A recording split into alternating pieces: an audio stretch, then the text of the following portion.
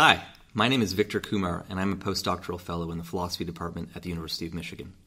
In this video, I'm going to talk to you about moral luck. Imagine that you've been entrusted with the care of a friend's child.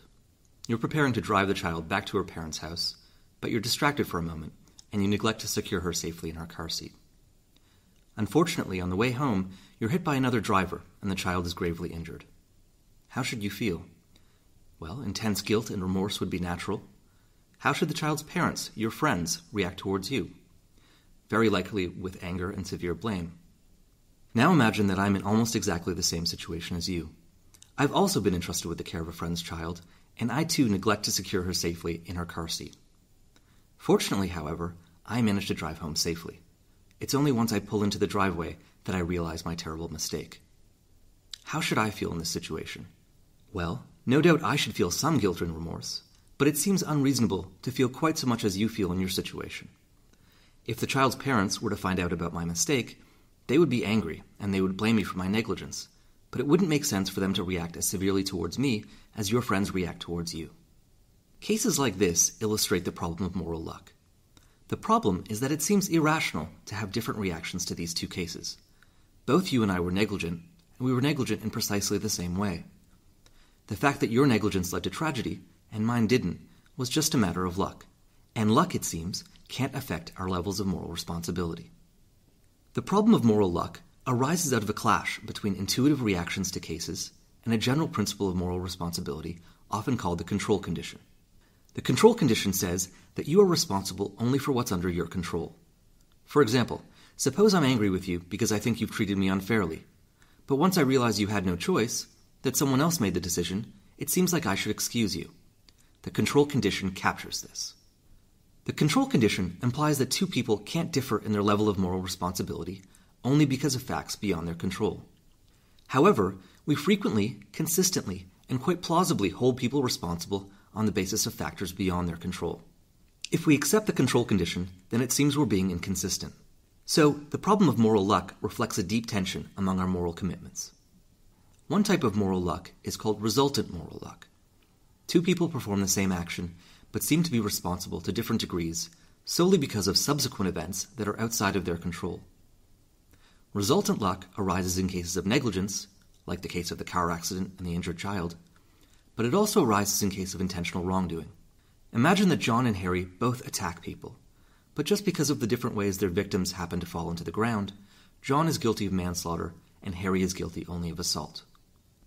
Another type of moral luck is called circumstantial moral luck. Two identical people perform different actions and seem to be morally responsible to different degrees, even though the reason they acted differently was that they just so happened to find themselves in different circumstances. Marie, let's imagine, commits a crime of passion. Jane doesn't, but only because she luckily wasn't provoked. Marie is therefore blameworthy in a way that Jane isn't, but only due to luck. A third type of moral luck is called constitutive moral luck. Our character traits and motivations are largely due to genetic and environmental conditions utterly beyond our control. Amy is kind, Brian is cruel, Naomi is courageous, Paul is cowardly. These traits lead each of them to act differently when faced with moral choices.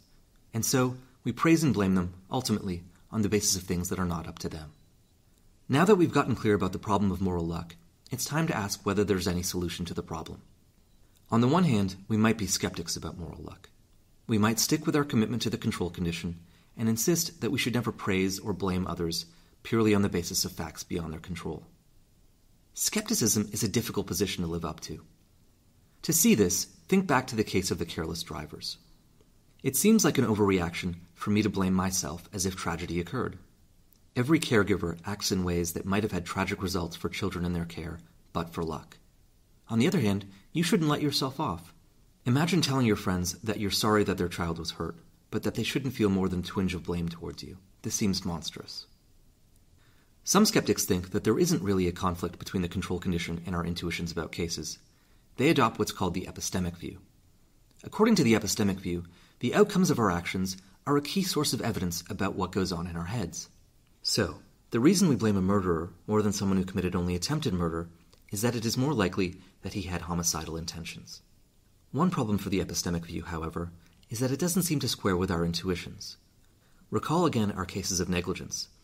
You and I were both equally careless with the children we were supposed to look after, but you seem genuinely more blameworthy than me.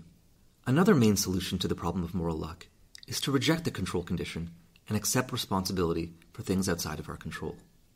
But then, what general moral theory or moral principle, if not the control condition, explains why we should allow luck to influence descriptions of responsibility? One possibility is that the point of praise and blame is not just to give people what they deserve, but also to influence their future behavior. And it may be more effective to blame and punish people based on the lucky or unlucky outcomes of their actions rather than their intentions. However, can we live with such crude manipulation in our interpersonal lives? Or does this throw morality into doubt? We either have to make big changes to our moral lives, or we have to give up the control condition. But both possibilities raise very difficult philosophical questions. Anyone who is gripped by the problem of moral luck must wrestle with these questions.